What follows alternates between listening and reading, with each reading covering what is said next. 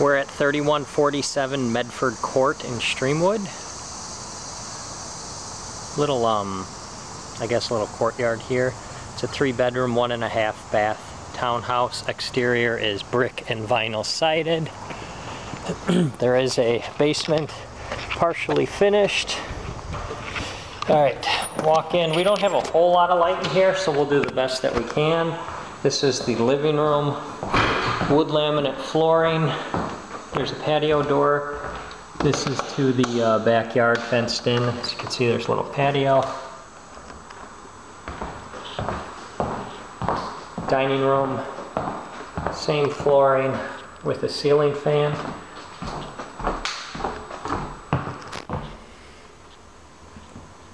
It connects to the kitchen. Again, same flooring. We've got a, an oven and a microwave. And there's the half bath right there, which you can't see, but I promise you there's a sink and a toilet in there.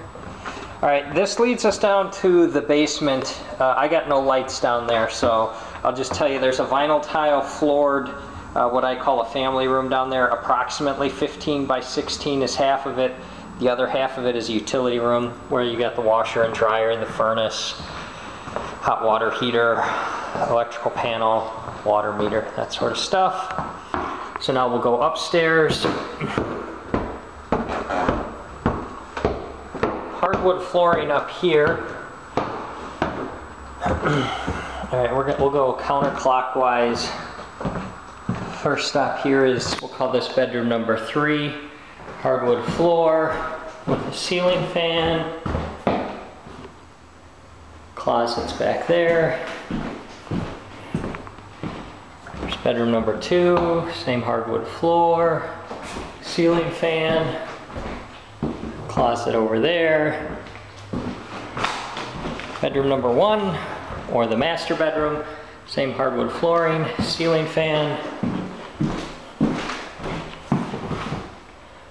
and the little hallway here that has the closet on each side that leads into the full bath, toilet, tub, sink.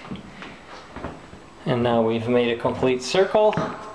And that's going to do it for 3147 Medford Court, Streamwood.